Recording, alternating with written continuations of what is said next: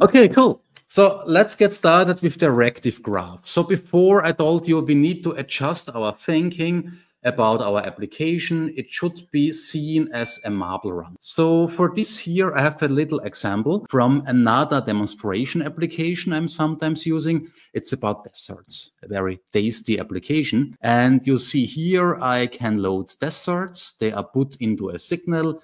I can load ratings for those desserts. And then both comes together the desserts and the ratings are computed together to rate the desserts.